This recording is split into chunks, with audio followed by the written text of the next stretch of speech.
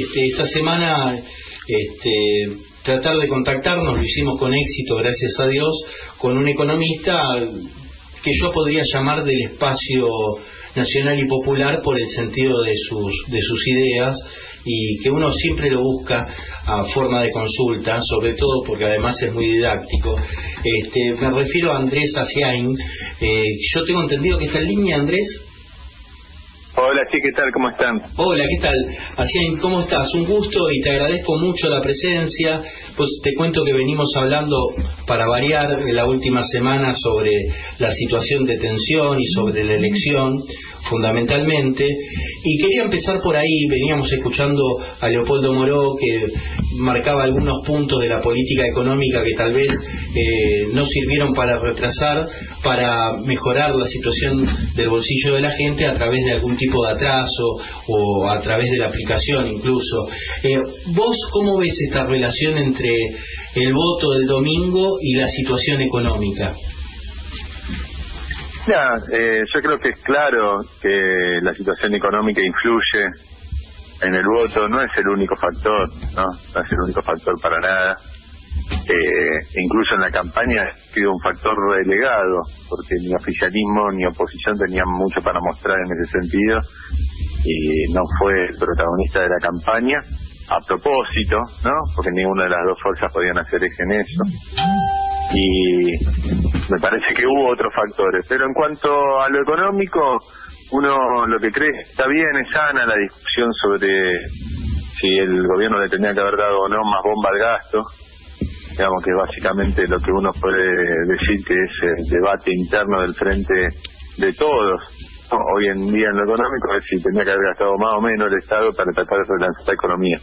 Parece una pregunta sana, pero yo creo que es eh, muy limitada, ¿no? Desde el punto de vista económico, es un debate muy chato y muy poco. Eh, ah, si uno ve lo estructural, es que ya en 2000, el último gobierno de Cristina, la economía argentina llegó a un límite en lo que era un intento de reconstrucción de la idea peronista de un mercado interno fuerte con una industria que lo abastezca. Nos quedamos sin dólares para sostener ese proceso. Macri simplemente dos años pidió guita prestada después empeoró la situación, tenía que pagarla. Y ahora estamos en una situación que hay un debate de gastar un poco más, un poco menos, con las restricciones que al gasto, justamente porque vivimos en una economía racionada por dólares, con muchos problemas estructurales. Es una discusión muy chiquita. Acá lo que hay que discutir es cuál es el modelo de desarrollo del siglo XXI. Eso es lo que tiene que discutir el campo nacional y popular. Porque venimos intentando replicar un modelo del siglo atrás en un contexto muy diferente, digamos, el caso de la industrialización china y la competencia que eso implica, y cuánto genera el empleo la industria y hacia qué modelo de desarrollo vamos. Me parece que eso es un debate más amplio porque nosotros, más allá de la cuestión económica y coyuntural, es en qué tenemos hacia dónde tenemos que orientar la economía, qué tenemos que favorecer, qué actores económicos esenciales, digamos, tenemos que apuntar un modelo de fortalecer el sector automotriz, el tren de punta, otra tan importante como eso es tenemos que resolver el problema de la urbanización de los barrios populares, el saneamiento de las grandes cuencas, eh, Matanza Riachuelo y Reconquista, hacer una política que cambie el sistema penitenciario, el sistema de salud, el sistema de educativo, mejorando la calidad. Te quiero decir, hay una serie de demandas tan amplias que me parece que es mucho más que si gastábamos uno o dos puntos más del PBI, ¿no? Sino en qué se gastaba, cómo se gastaba, se orienta el esfuerzo económico y social. Este, te hago una pregunta en torno, tal vez es más coyuntural, pero sí puede ser un punto de partida. ¿Vos ves alguna posibilidad de aplicar en esta economía un shock distributivo, que es algo de lo que se ha hablado mucho esta semana? Sí, vamos a chocar en lo... Lo podemos lanzar como una medida desesperada dos meses antes de las elecciones. Sí, se puede lanzar, es una medida de corto plazo que en el mediano plazo se corta con una falta de dólar y una necesidad de ajustar eh, con una devaluación que tumbe los salarios de nuevo para mantener la economía en el corral que tiene, dadas los temas estructurales. Hoy día le damos más gasto, también generas un boom de consumo en algunos sectores, abastece un poco el mercado interno, pero mucho va a ir a importado, mucho va a ir a un aumento de la importación de insumos para abastecer esa demanda. En un contexto de una economía que está bastante limitada desde lo externo, empieza a presionar enseguida sobre el dólar y sobre su sostenibilidad. Por eso yo digo, ¿hacia dónde orientamos el gasto? Nosotros tenemos, por ejemplo, la propuesta del Centro de Estudios de Ortiz que decíamos, apuntemos el gasto a sectores que generan mucho empleo, no demandan dólares y resuelven problemáticas sociales urgentes. ¿Cuántos dólares gastas por poner un sonar que trabaje en todos los barrios con trabajadores sociales, con gente de prevención de adicciones, tratando de sacar pide del PAC, o de cuánto, cuánto dólares en eso. Y genera un movimiento económico, resuelve problemáticas. ¿Cuántos dólares gastás en la construcción de vivienda? Bueno, en la cantidad de empleo que puedes crear ahí. si vos pones una hora 12 para vender celulares, eh, la diferencia es enorme en el empleo por dólar consumido en importaciones. Bueno, es en qué criterio y cómo el reversar la economía. Nosotros no podemos solo bombear la demanda porque a los meses vamos con la falta de dólares una devaluación que nos va a comer el salario y lo va a tumbar. O sea, es un vuelo muy bajo. Vos decís de ir paso a paso con un proyecto mucho más organizado, aunque tarde más. Yo coincido porque a mí, eh, digamos, en no, no tarda más, no tarda más, eh, ¿No? tarda más. Si yo me pongo ahora a hacer un, o sea, si yo las partidas presupuestarias las oriento, por ejemplo, fuerte a programas de vivienda, estación de barrio, digamos, a, la idea que teníamos, por ejemplo, aprovechar el teletrabajo para descentralizar Buenos Aires, fomentando el crédito de vivienda, fomentando que las empresas eh, le financien a sus, a sus oficinas, digamos, trasladarse a otro pueblo del interior. Bueno, son cosas que requieren obras, construcción, mueve la economía y genera poco en el corto plazo. Es un plan de reactivación basado en la construcción, en los servicios sociales, con cooperativas de trabajo, pequeñas empresas impulsando la economía o la limpieza de las cuencas es en empleo también. Está bien. Eh, ¿Hacia dónde apuntar los cañones, básicamente? Estaba, está bien. ¿Cómo, te va, Andrés Carlos? Es mi nombre. Eh, bien, este programa se trata de pensar la pospandemia y vos tiraste acá eh, el título claramente, digamos, de que está agotado el modelo de, sustitución de, ciertas importaciones industrialistas del siglo XX. Eh, y que con las restricciones de Argentina se eh, tiene, digamos, permanentemente un punto de saturación. La pregunta es, tengo dos preguntas. Una, eh, te voy a decir la que quiero que me contestes última. ¿Qué, qué pensás como, como director de tu fundación y demás, desde el Centro de Estudios del BRICS, al que Argentina hace una semana fue invitado este para empezar a incorporarse, la Liga de Países de Brasil, Rusia, India, China, Sudáfrica, pero antes de eso, si crees o no que hay margen, no por, yo, yo no estoy pensando en el resultado electoral de noviembre, lo digo en serio, este, en definitiva el país elegirá su rumbo cada cuatro años, una elección intermedia que pierde un gobierno, le limita algunas acciones desde lo legislativo, eh, bueno, eso es un, un tema que resolverá la sociedad dentro de dos meses. Si estoy pensando en dos puntos del PBI aplicados en estos meses a lo que estás hablando vos, por ejemplo, al tema de fuertemente de obra pública. Entonces, la primera pregunta es, llevar el déficit a dos puntos más de PBI, tal cual estaba contemplado en el proyecto de presupuesto y en la ley de presupuesto 2021. Si vos lo ves como viable, orientado obviamente de una, de una manera este, virtuosa, y finalmente si ves una salida a ese atolladero de, de las formas de desarrollo del siglo XXI en esta alianza de países. Mira, eh, Sí, yo creo que esos puntos del PBI, pero se puede hacer incluso sin puntos del PBI. Nosotros, eh, por ejemplo, eh, proponíamos que se armen fideicomisos para los barrios populares o para el limpieza de las cuencas y que el fondeo venga con el condicionamiento de que los bancos parte de las reservas líquidas las tengan que poner ahí vos le das, por ejemplo, un acceso a, títulos del central condicionado a que parte lo tengan que invertir en esos fideicomisos.